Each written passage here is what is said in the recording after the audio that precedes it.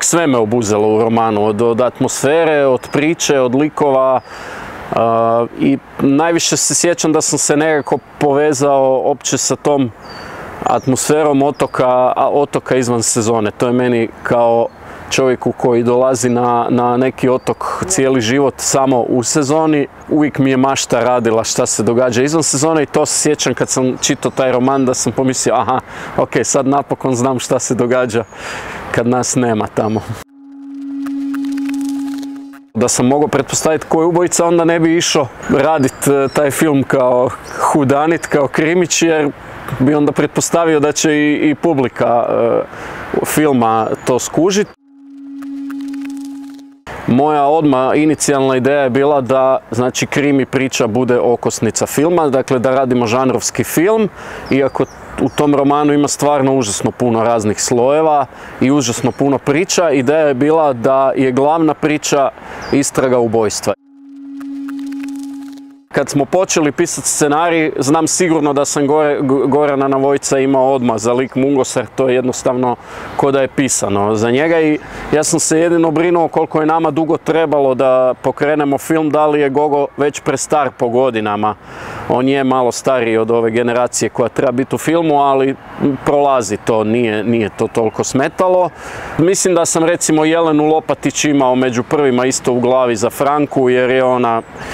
ja nisam puno gledao, ali nekako odmah čovjek e, i na, na malom uzorku vidi da je fantastična glumica i da odgovara za lik. A ove ostale zapravo sam se dosta dugo mučio i ja mislim tek u završnoj fazi scenarija, jer nisam radio klasični casting, nisam isprobavao ko bi bio za ulogu, nek sam pokušavao nekako svojim iskustvom čitati i spajati te glumce sa ulogama i, i na taj način direktno dodjeljivati uloge, ali to znam da je onako, da sam tu dosta, dosta razmišljao, onako, nije bilo, nije bilo jednostavno. Na Rabu smo snimali tri tjedna e, i da, neki osvrti zapravo govore o tome, o filmu govore o tome da je Rab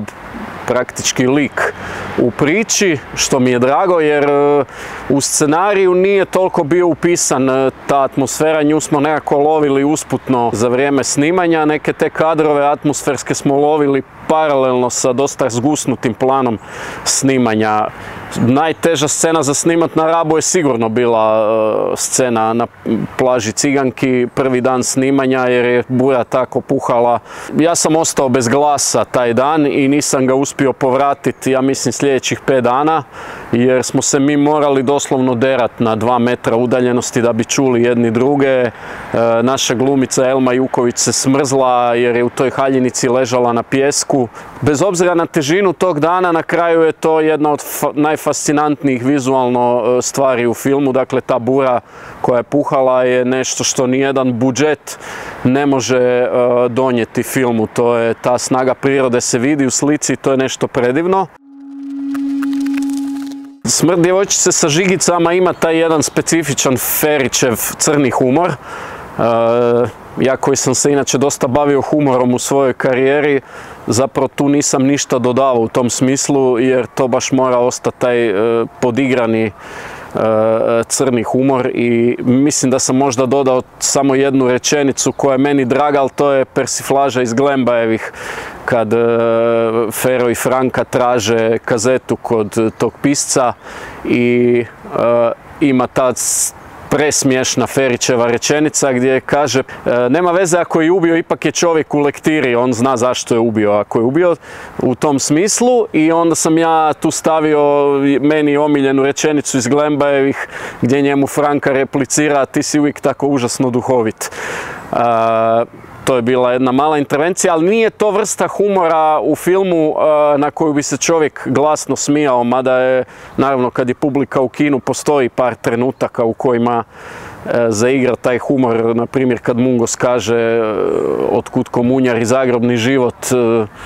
na, na u vrlo mračnoj i teškoj sceni egzorcizma. To je meni kod Ferića fascinantno jer njegov humor se uvijek pojavljuje u trenucima kad situacija nije smiješna i kad i situacija čak i dosta bude i teška, ali na neki način taj humor relativizira tu, tu težinu i, i meni je to, to nije, ja ne bi znao tako pisati, ali to mi je kod Ferića fenomenalno toliko je neuhvatljiv taj roman u smislu svih tih slojeva da evo imam i sad osjećaj da bi još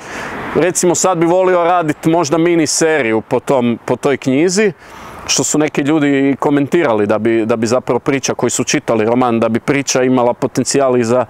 i za, i za duže trajanje. Dakle, ne bi mi bilo dosta te priče. Da sad neko pruži priliku, mislim da bi Fero i ja se bacili na pisanje recimo nekakve mini, mini serije po, tom, po toj temi. Slojevit, napet i svakako emotivan.